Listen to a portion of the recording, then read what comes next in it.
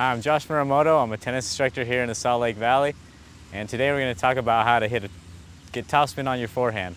And for that, you'll need a tennis racket, tennis court, and some tennis balls. Get topspin on the forehand, you have to really brush up on the ball. And the importance of topspin is that you can hit the ball and you can drop it inside the court. You get that spin on the ball, the rotation on the ball, that it'll come up and make a little loop and drop inside the court. How to get topspin on your forehand is you have to drop your racket below the ball and then really come up and brush up on the ball as you're swinging the racket. Um, you remember to bring your wrist back. See all the good players, when they hit, they bring their racket back.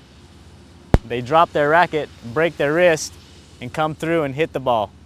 So you're keeping your arm and everything, everything loose so you can come up and brush up on the ball. And what I've done is I've set up a target with some balls on the opposite side of the court.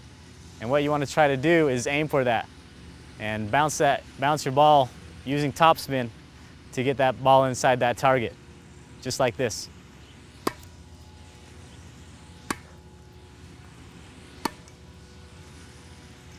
Now if you hit that ball just right, you can hit it over the net, two or three feet over the net, and it'll drop in and bounce inside that target. Again, I'm Josh Muramoto, and we just talked about how to hit topspin on your forehand.